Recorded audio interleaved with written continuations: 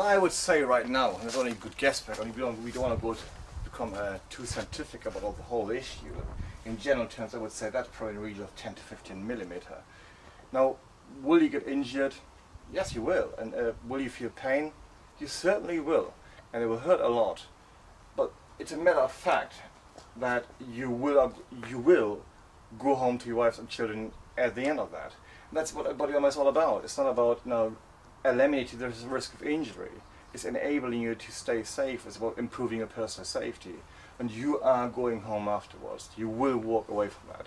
With a bit of pain, with a bit of bruising, but you will survive.